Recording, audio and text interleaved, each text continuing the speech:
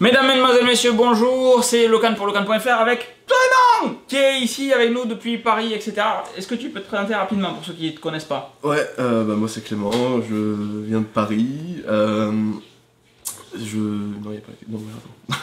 T'es un lecteur de Je suis un lecteur de 4.fr. t'as bossé avec moi sur. Retina Boys, Ouais, j'ai bossé pendant plusieurs mois sur Retina Boys. tu es malade, Je suis malade comme une sombre merde. Euh, euh, ouais, je suis responsable des ventes dans une start-up sur Paris. Et, et on est j'ai bon. fait à peu près le tour. L'idée de ce podcast, de ce podcast, idée de Clément, c'est breveté, euh, c'était de faire une version complémentaire au podcast XXL de la semaine dernière qui a un petit peu chié euh, sur la partie enregistrement. Et c'était aussi et surtout de parler un petit peu de cette petite bestiole euh, qui, de prime abord, cette petite bestiole, c'est donc l'Apple TV, qui de prime abord, moi, m'a paru un petit peu bizarre parce que il y avait des trucs qui fonctionnaient pas, comme l'application Remote sur, sur iOS, qui est pas compatible avec la nouvelle Apple TV, c'est un peu relou. Euh, et, euh, mais après, avec d'autres configurations, en bricolant un petit peu, en regardant ce, qui était possible de faire, notamment d'installer des applications comme Plex, euh, ben, je me suis rendu compte que c'était assez oufissime. Et au dernier podcast XXL, il y avait eu beaucoup de questions sur l'Apple TV, donc on s'est Ouais. dit, eh ben, tant qu'à faire descendre Clément, autant faire un petit podcast. Euh, ça sera l'occasion d'échanger un petit peu et d'immortaliser la chose. Donc, on a une petite question. Évidemment, la première est de Ruben. Hein Ruben. c'était logique. Euh, ma question, as-tu essayé de... Alors aussi, pour les questions jusqu'à maintenant, le CSS du site n'affichait pas les retours lignes, c'est-à-dire que quand vous posiez une question, espace, espace, pour sauter une ligne, etc., ça marchait pas. On a corrigé ça hier, cool, ça marche. Donc du coup maintenant il y a Ah. à nouveau des espaces, vous pouvez dire bonjour, gna, sauter une ligne, ma question de points, sans, mettre, sans avoir à mettre les petits tirets. Ça c'est super cool. Bonjour à vous trois, gros bisous à vous trois, gros bisous. Ma question, as-tu essayé de jouer et utiliser ton Apple TV avec l'iPhone, non pas par remote, mais avec des applications tierces? Alors, L'application remote, de, quand ils ont annoncé l'Apple TV, je sais pas si tu as croisé ça, au début, euh, on s'attendait à ce que euh, l'Apple TV, euh, la partie jeu, jeu, en fait, soit gérée par l'application remote qui Ouais. joue le rôle d'un contrôleur tiers. Sur certaines applications comme euh, Crossing Roads, le truc avec les petits canards, Ouais. etc., qui sautent, les petits poulets, c'est l'application mobile de Crossing Roads qui te sert à te connecter sur l'application Apple TV. C'est assez bien fait. C'est-à-dire qu'en fait, tu lances ton application Crossing Roads sur la télé. Euh, Quelqu'un à côté de toi qui veut jouer lance l'application Crossing Roads sur son téléphone. Je sais pas plus si elle est gratuite ou payante. Si elle est gratuite, c'est est une bonne idée. Si elle est payante, c'est un peu des bâtards. Il lance l'application et depuis l'application, il y a un mode multijoueur. Tu actives le mode multijoueur, elle se connecte automatiquement, enfin elle détecte que sur le réseau Wi-Fi il y a une Apple TV et elle sert de télécommande pour jouer en tant que second player. Ok. Et ça c'est bien. Ça, Parce que du coup, effectivement. euh, vu que l'application remote n'est pas à jour. voilà. Donc oui, Ruben, j'ai testé, euh, mais tout seul comme un con avec mes deux télécommandes, une dans chaque main. Euh, c'est bien, c'est bien, mais ça sera quand même mieux si réellement, parce qu'on n'a pas d'infos, je crois, que la- c'est l'application remote d'Apple qui servira de contrôleur pour les jeux. Bah, ce serait cool. Ils n'en ont pas parlé de ça. Non, ils en ont pas parlé. Mais ça semblerait logique hein, et ça serait tellement plus pertinent que ben, tu aurais une application qui te permettrait de les utiliser toutes en fait Ouais. d'avoir la version virtuelle de, de la petite remote. Euh, qui fait un peu plastoc, hein, vraiment. J'a- J'avais un petit peu de mal au début, plus ça va mieux c'est, mais j'ai. Le truc qui me saoule en fait, c'est ce que je te disais, c'est qu'elle est parfaitement symétrique et ça. régulièrement tu la prends à l'envers en fait. Et tu dis, ah merde, et sauf que quand tu la prends à l'envers, tu aurais tendance à te dire, mais non, il y a le lightning pour détromper mon cul, de l'autre côté il y a un infrarouge, et donc du coup, des deux côtés, la télécommande est parfaitement symétrique, sauf derrière évidemment, la pomme est à l'endroit à l'envers. Mais c'est euh, c'est un peu relou parce que tu vois pas tant que ça la différence entre le trackpad qui est mat et la partie d'en bas Ouais. qui est brillante. C'est vrai. Et, euh, et je sais pas, il faudrait des skins ou il faudrait un bumper. Un bumper avec un. Franchement, un bumper ça me plairait Après, il y bien. a la Dragon sinon. C'est le genre d'accessoire. Elle se fixe comment la Dragon Sur d'ailleurs le Lightning en fait. Euh, tu sais, comme les anciens chargeurs. euh, Avec les pinces sur le côté Avec les pinces sur le côté, ouais. Ah, c'est malin ça. Bon, c'est qu'avec Ah 15 oui, exact, bon. ouais, il y a le, y a le Ouais. petit accroche dedans, j'avais pas fait gaffe. Ok, malin. Euh, oui, c'est 15 balles et puis moi je m'en sers pas puisque je joue pas en fait. Si c'est juste pour servir de détrompeur, c'est un peu relou. Je ferai une croix en bas. Je pense que ça va finir comme ça. À la Casey Neistat, je vais faire une grosse croix en bas au, mar- au marqueur euh, Posca rouge ou un truc comme ça pour dire c'est le bas. Top, bottom, machin. Enfin bref. Euh, donc voilà, Mopiléo. J'ai vraiment du mal avec les personnes qui postent avec des pseudos. Plutôt que. Invente un, un prénom qui est crédible si tu veux. Appelle-toi Michel. Mais euh, j'ai un peu du mal. S'il faut, c'est son vrai prénom. il s'appelle Léo. Ah, salut Léo Mais Je voilà, suppose qu'il s'appelle Léo. j'en sais rien moi. Ma question est que pensez-vous du choix euh, qu'Apple a fait en ajoutant les jeux sur l'Apple TV C'est un très bon choix. Euh, que ce soit des jeux ou des applications de manière générale. Moi je Effectivement. surkiffe en fait. Ouais, carrément, c'est cool. Puis ça, ça rappelle un petit peu la Wii, Aussi. qui a En termes de perf, c'est à peu près pareil, je pense. D'un point de vue CPU, c'est peut-être plus puissant. le- L'Apple TV est L'Apple peut-être plus, plus puissante. ouais. Parce qu'elle gère déjà la Full HD, alors que la Wii, c'était du 720 Ouais, après, il y a la Wii U qui a rattrapé la chose euh, avec le Full HD, etc. Je suis mais- absolument pas joueur, hein, il faut le savoir. et, hum, et du coup, et du coup, non, c'est une très bonne idée qu'il y ait des applications. Je reviendrai après sur Plex. On a prévu de faire un article dessus euh, demain.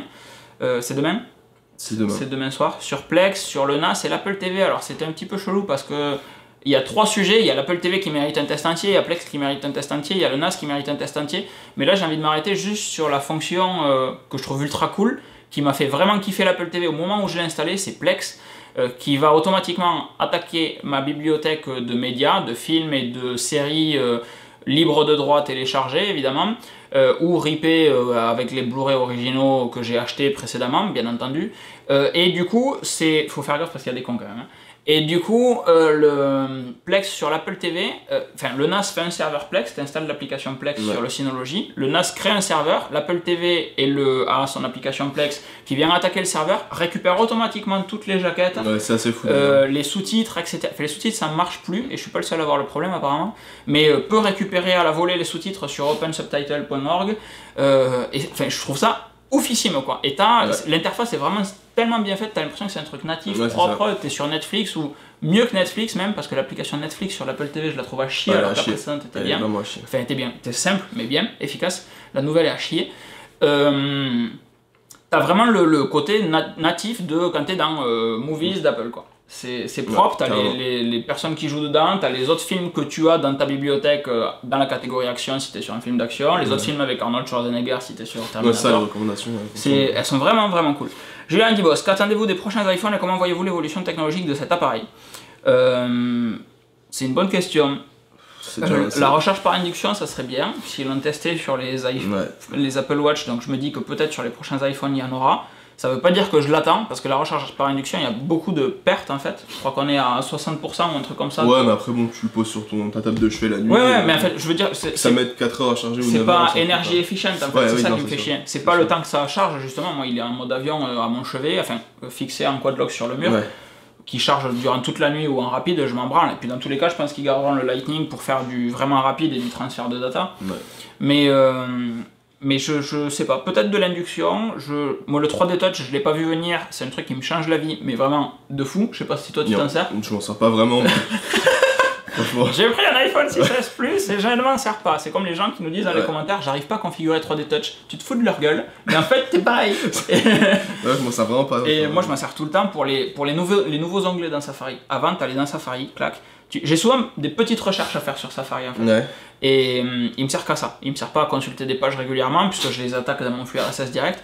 Mais du coup, ça me permet dans Safari de faire un force touch dessus, nouvel onglet et de taper direct. Alors qu'avant, il fallait ouvrir Safari, euh, cliquer sur le petit plus, le- les, les pages d'onglets, cliquer sur le petit plus, aller en haut, taper la recherche. Je m'économise ouais. mis 4 touch en fait.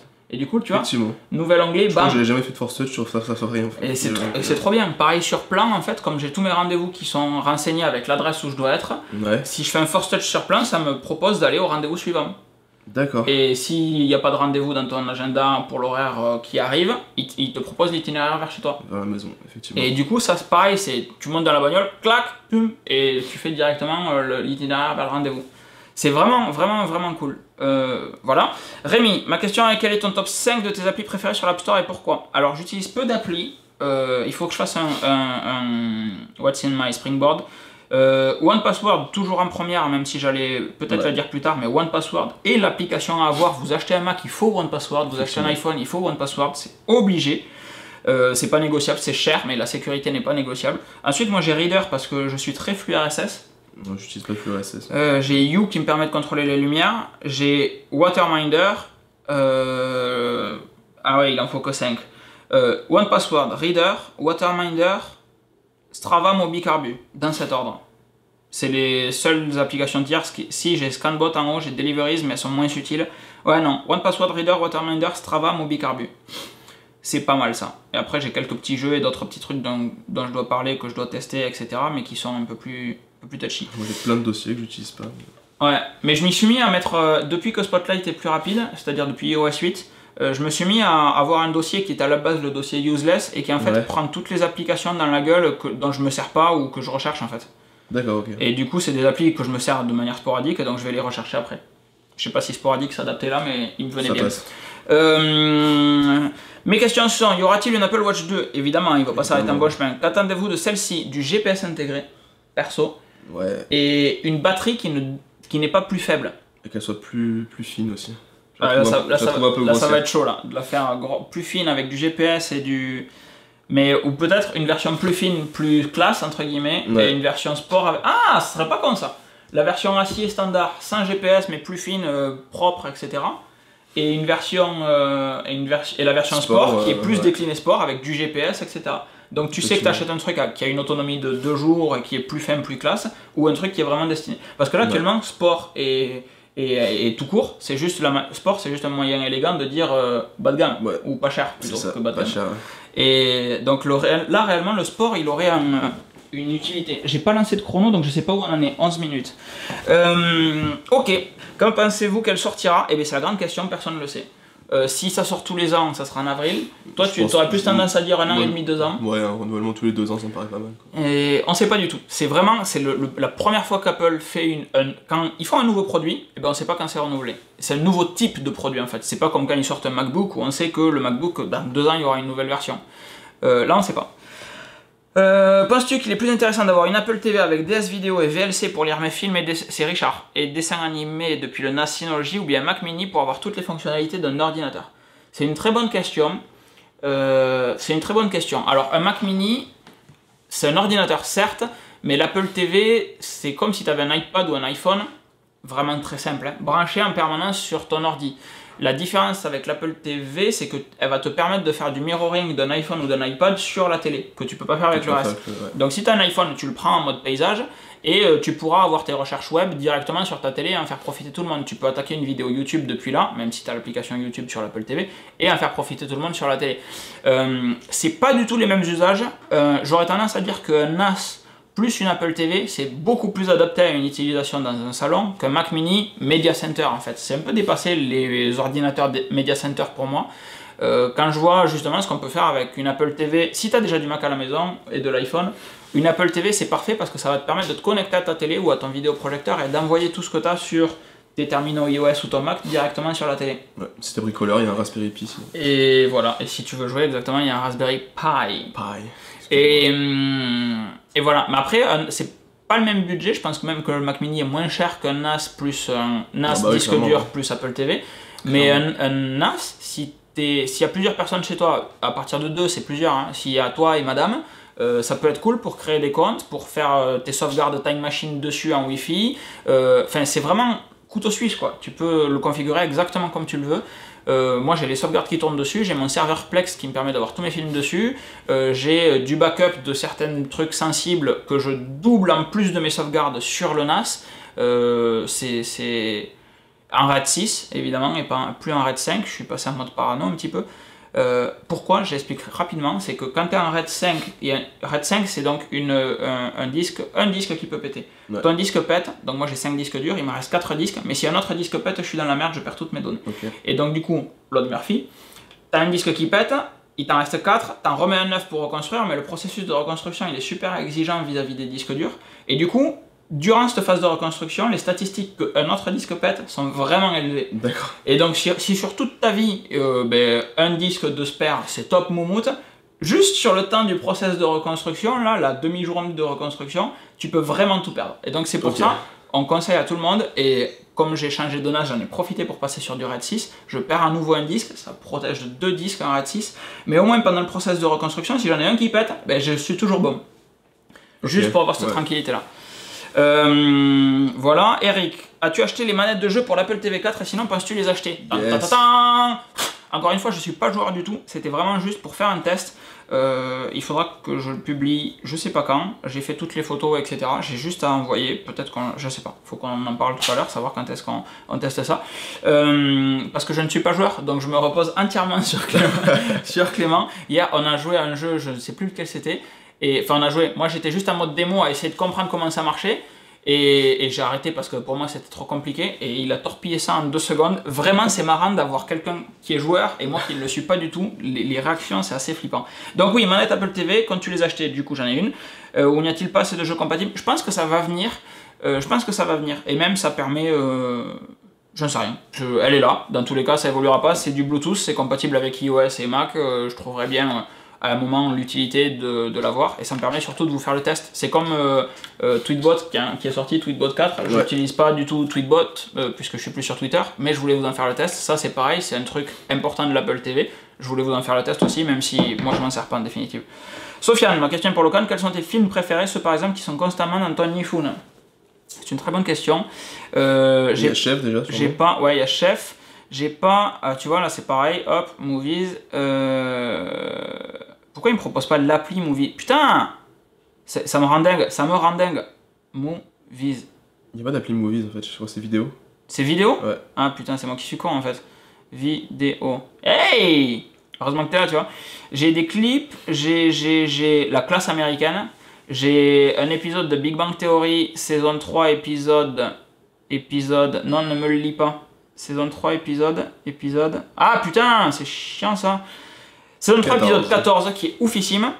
Euh, j'ai donc la classe américaine, j'ai, Chef. Euh, j'ai, et puis grosso modo c'est tout. J'ai un reportage sur François Pervis que je trouve oufissime. J'ai Line of Sight euh, de Lucas Brunel qui est très bon aussi. J'ai Modern Family saison 6 épisode 16. Euh, j'ai des passages marrants que je te montrerai après. j'ai, j'ai, j'ai, non, grosso merdo, c'est tout.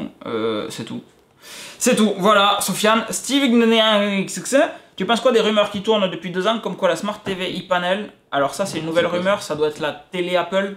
Une télé e-panel, je Ah, suppose que e-panel. c'est l'écran. euh. J'en sais rien, j'avais pas vu cette rumeur. Alors, ça, c'est une rumeur à laquelle je ne crois pas du tout, le fait qu'Apple fasse une télé. Parce que les écrans, c'est pas eux qui les font, c'est Ouais. Samsung ou LG ou d'autres. Donc, je crois pas absolu- je crois absolument pas qu'ils feront une télé. Parce qu'ils ont. Enfin, le plus gros de- du prix d'une télé, c'est l'écran. Et c'est pas eux qui le font. Donc ils ont rien à gagner dessus. Par contre, je crois fermement qu'ils ont trouvé le bon délire. Et tout le monde va dans cette direction. Donc avec les Chromecast et autres Amazon euh, TV machin.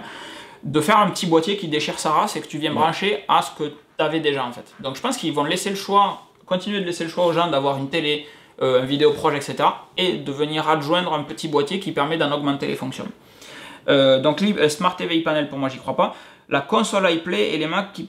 La console iPlay, mais il faut arrêter avec des rumeurs dans tous les sens, là, de mettre des i devant des trucs. jamais entendu ça. Non, pareil. Et les Mac qui passent à l'architecture ARM, j'y crois pas non plus, difficilement, parce que si on passe à une architecture ARM, aux dernières nouvelles, il faudrait réécrire tous les, tous les jeux d'instruction des applications. Ouais. Et du coup, je- euh, ils sont passés à Intel il y a pas longtemps. Intel fait des bons procos euh, économes, entre guillemets. Comment ça arrive à faire des bons procos économes Donc je crois pas du tout qu'ils vont dire à tout le monde, hé les gars, on arrête tout ce qu'on avait fait sur Intel, on passe sur de l'ARM. Et du coup, ils pourront pas faire de l'ARM pour des iMac et des Mac Pro, ils seront obligés de garder de l'Intel, donc ça sera un joyeux merdier. Tu aurais de l'ARM pour l'entrée de gamme, puis du Intel, donc des devs qui devraient... Ça segmenterait en fait le marché. Peut-être sur les MacBooks. Ouais, mais même pas, ils auraient pas attaqué sur de l'Intel M. Ils auraient dit, bah, Ouais. écoutez, regardez. Non, non, pour moi, l'ARM, ça va rester iOS, parce que ça, c'est comme ça, et ça va. Et, et on aura C'est des. dommage, hein, ça poutre vraiment quoi. Enfin, eh ben, on aura que- des iPad Pro qui poutreront grave. Ouais. Mais euh, il n'y a aucun intérêt. Ça segmenterait en fait. Ça, ça ferait. euh, ben, euh, Tweetbot sort une application, comme ils sont super réactifs. Euh, ah ben non, on l'a pas développée pour ARM, elle est que Intel. Ah putain, fait chier, moi j'ai. Enfin, tu vois, ça segmenterait totalement Ouais. le marché. C'est pas logique. Surtout qu'ils mettent, ils aident vachement, enfin ils aident vachement, ils aiment vraiment les développeurs parce que ben, tout se base sur les développeurs. Ah, S'il n'y a pas oui. de dev, il n'y a pas d'appli. Donc euh, je pense pas qu'ils feront ça. Ludo, arrive-tu à gérer tes photos exclusivement avec Photo et iCloud utilises-tu des logiciels tiers? Exclusivement Photo et iCloud, ce qui montre une fois de plus que mes photos sont très peu traitées puisque je n'ai même pas Photoshop ou, autre. J'ai Pixelmator d'installer, mais en fait il me sert, il me sert à rien quasiment. Ouais. Il me sert pour faire du, des- du graphisme, pour faire des, rajouter des titres, etc. Enfin, Ouais, euh, il, il me sert, il me vient en complément d'aperçu, moi, pas en complément de photo. À rajouter des titres, à cropper, à faire des, à mettre les trois captures d'i- d'iPhone à côté quand Ouais. je fais des, des, des tutos, etc. Ne trouves-tu pas en ce moment qu'Apple se perd un peu? Ah putain, celle-là je vais l'aimer. Je m'explique, Apple met de l'USB type C sur ce MacBook, puis sort de nouveaux iMac sans USB-C. Il y a plein d'exemples comme ça. Mais pourquoi ils auraient mis de l'USB type C sur un iMac? Je vois pas pourquoi. Je te pose une autre question. Pourquoi ils auraient mis de l'USB type C alors qu'il y a de l'USB 3 sur le... L'USB type C, c'est un connecteur type 3, c'est l'USB-C, c'est le, le connecteur type C qui est prévu pour être des usages mobiles. C'est de l'USB 3, donc autant mettre un USB 3 standard, USB A, si je dis pas de conneries, Ils le mettront, je pense, quand sur un ordi. Il- mais ça sera pas de l'USB type C, ça sera du Thunderbolt Ouais, 3. Thunderbolt 3, ouais. le, le- ils vont pas mettre de l'USB type C pour ensuite mettre du Thunderbolt 3 et que les gens se mélangent en disant ah putain Ouais. merde c'est quel port Euh, j'ai de l'USB type C j'ai du enfin non ils vont garder de l'USB carré qui est l'USB standard et ensuite à côté il y aura l'USB 3 Thunderbolt euh, euh, le l'USB type C enfin le port USB C Thunderbolt c'est merdier ça Ouais, va être- voilà. Euh, Qu'attends-tu des futurs MacBook Pro 2016 qui prennent essentiellement le design du, nou- du, Du MacBook, MacBook, ah qui ouais, soit plus fin, clairement. plus classe, avec un trackpad plus grand, vraiment un trackpad plus grand, j'insiste, un écran où on y voit, euh, le même écran que l'iPad Air 2 ou l'iPad Pro, ça serait bien, Ouais, le- Ah. les touches euh, papillons. là, avec moins euh, de reflets, parce que vraiment, tu prends un MacBook, tu te mets au soleil, tu vois rien, tu prends un iPad 2, tu vois. Ouais. Je, Ouais. je comprends pas cet écran, vraiment, il est vraiment à chier, quoi. Enfin, il est pas utilisable à l'extérieur. As-tu testé Plex sur l'Apple TV avec Plex Server? C'est Tias. Euh, oui, tout à fait. On te fait un retour dessus. Euh, si oui, ton retour dessus, mieux que DS vidéo ou pas, j'utilise pas DS vidéo. Euh, par contre, le proso du truc, il ra- enfin bref, on en reparlera de même. As-tu essayé l'application Plex? Oui, putain, il y en a du monde qui demande. Penses-tu que les chaînes télé classiques pourront arriver un jour sur Apple TV En France, non, parce qu'ils sont trop cons généralement. Mais, euh, mais les chaînes télé US, oui, il y en a déjà pas mal. Ils ont des super applis, ABC News, etc. C'est cool. Euh, et puis, et puis, et puis, c'est tout. Euh, Il y a déjà des radios, j'ai halluciné, j'ai fait du Virgin Radio, du RTL 2, Ah ouais j'étais mais quel est Enfin bref. Euh, et puis, et puis, et puis, et puis, et puis, c'est tout. Euh, Louis, qu'est-ce qu'il dit? Hein, hein, Des attentes par rapport au futur MacBook Pro et Thunderbolt Display. Et pour la route, le Mac Pro, Mac Pro. Mac Pro, pardon. Et pour la route, le Connect Clément, qu'elle n'a pas trop cher, bon rapport qualité-prix. Euh, question trop longue à y répondre et on va donc s'arrêter juste au-dessus de toi avec Tias, puisqu'on avait dit qu'on faisait un quart d'heure, ça fait 20 minutes, ça va couper dans pas longtemps. Clac, 21 minutes 40. On vous fait des gros bisous. T'as pas trop parlé. J'ai pas trop parlé. C'est parce que t'es malade, tu. Je suis un peu malade. Mais en fait, il malade, fallait, ouais, il fallait débiter aussi, donc je t'ai peut-être pas trop laissé de temps de parole. Merci à vous de nous avoir regardés et on vous fait des gros bisous et à très vite. Gros bisous. Ciao, ciao. Ciao.